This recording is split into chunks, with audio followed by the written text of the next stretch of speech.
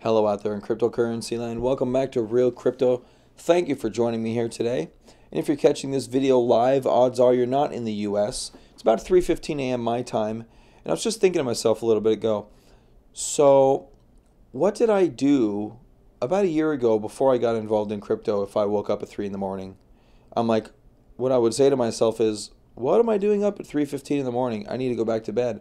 Not today when you're in crypto, when it's 3:15 in the morning, you tell yourself, "Ooh, I need to go check my Bitcoin position." So this is what happens when real crypto's up at 3 in the morning. I apparently check my crypto positions and make a YouTube video. So here you go. All right, so current Bitcoin action is we are have high, lower highs and higher lows, and within that we have a bear flag. We have a bear flag right here in Bitcoin, and which in that bear flag we have, let's go to the two hour chart. That was the daily chart. Lower highs and higher lows. And a general choppy area right here highlighted by this kind of weird rectangle box. Such a strange market we're in right now, ladies and gentlemen. And if you look at the volume, look at the volume, look at how tight the volume has gotten. We, we, we've been talking about declining volume. It has now gotten to the point of ridiculousness to where this is looking like a small altcoin instead of Bitcoin. Going all the way back up here to back when we were at 11.6. All the way back up here. Look at this volume. Beautiful volume. Beautiful volume. Just diminishing to the point of nothingness. And the price action has gotten so tight that even on the two hour chart zooming in, it's um, a little difficult to really see what's happening. It's really difficult. You literally have to go to the 15 minute to try to get any kind of discernible information, at least in terms of volume. Like, hey, look, okay, it looks like there's a couple of green pops over here, a couple of red pops over here. You know, going back out to the two hour, um, it doesn't look like a whole lot. You've really, really, really got to zoom in, and it's still hard to get a beat of information. This this really reminds me, to be honest with you, of uh, of Bitcoin twenty thousand. When Bitcoin was running up here to twenty thousand, it was really hard to get any good information on the two-hour chart. I mean, yeah, you knew it was running up, but you really couldn't get a lot of beat on, on topping action. It really took diving down into those lower term time frames to get any kind of good information out of Bitcoin in, in terms of real time information, at least. That's really what it seems like to me to me over here. But I'm not an all-out bear in the market, so I'm going to advocate a position to you right now where I think we actually probably should buy, and I don't even think that necessarily leads us to a, a super bullish Bitcoin. I'm just going to put that out there. All right, so Bitcoin right now, we've had this larger symmetrical triangle at play. All right, right here. We've got 10,000 right here. I'm to, just going to go ahead and delete this line, but this is 10,000. This was our most recent high. We're happy living under the 200-day moving average. We're happy living under the 50-day moving average. Both are bearish signs. We're underneath this trend line, which is a bearish sign. And as, as you saw in a prior video of mine, um, this could be something that holds us down throughout this entire run if we break down from here. And that is the key statement. If we break down from here, this line will more than likely, more than likely, be the top for our move. This will probably lead us lower into our slow, arduous decline into, into Bitcoin lower levels. If we happen to break up from here, there may be a possibility of a different scenario which may still lead us into bearish territory. All right, may still, may still lead us into bearish territory. And I don't do this too often, but I'm going to go over to the logarithmic weekly chart, or I'm sorry, logarithmic chart in Bitcoin, still on the daily, but logarithmic nonetheless. All right, and what you see here is a bit of a different story in Bitcoin. You see two highs here that still have pretty much respected respected the the trend line. Actually, excuse me, it's a little bit off. And that's actually the correct trend line. But you can see here, we're still kind of moving down with the trend. And if you go by the closes, the trend line looks, looks a lot better. I think that right about there would be respecting the closes. Still the same equilibrium pattern, but we're, we're coming down into a into a point here. And if you go back in history, back to the 2014 time frame, we had a similar overall symmetrical triangle.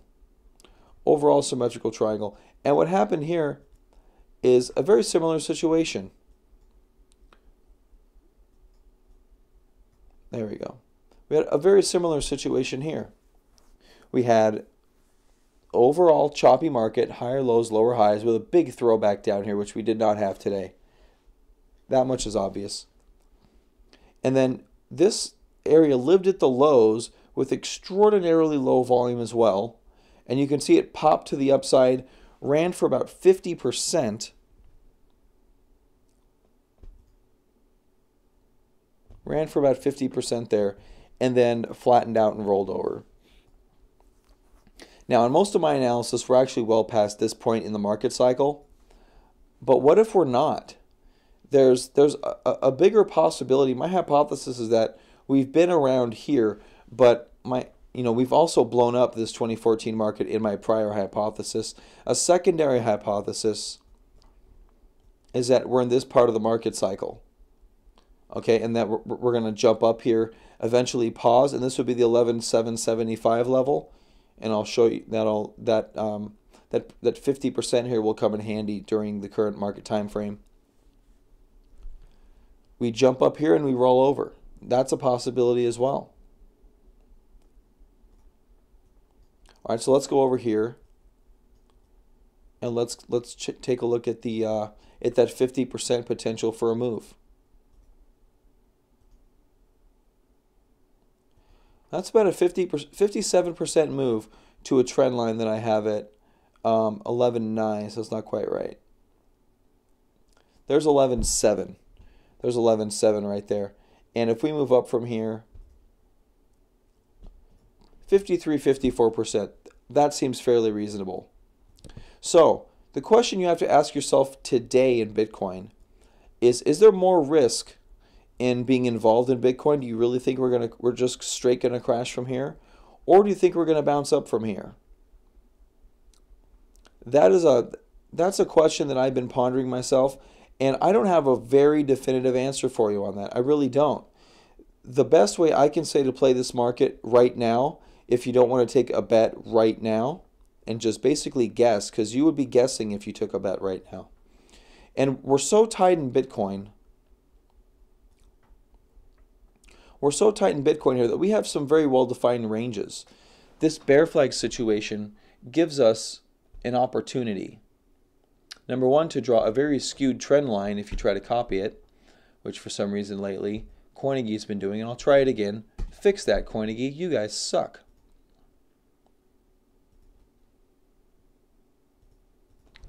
So we have a very well-defined trend line here, and a clear break of this trend line I believe what happened down here near this 200 period moving average on my two hour chart. And that's going to show up at about 7,500. So you basically have a line right here at 7,500 that you could place, um, number one, a buy stop at. Basically, I'm sorry, a shorting. Like if you wanted to get into a short position if this fell, you could have a, a buy order for a short position. Or if we broke above this prior high here, you could almost put a buy order in Bitcoin here if we were to break up with the 7792 level, 7800 level. You could put almost a straddle order on the market like this, you know, straddle meaning each side of the current position. And you know, just going by just going by these re resistance levels, you can see we're right in the middle of this thing here. But I, I don't know if you arbitrarily buy Bitcoin right now, even though, you know, kind of looks like it may want to break up. I'm not sure if you arbitrarily buy Bitcoin.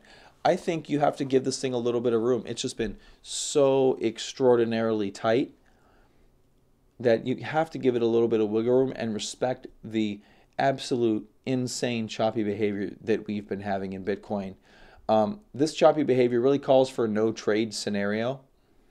All right, and um, I have not been. I've been doing a little bit of trading in here, and I'm basically flat due to the fact that it is a choppy market, and I know better.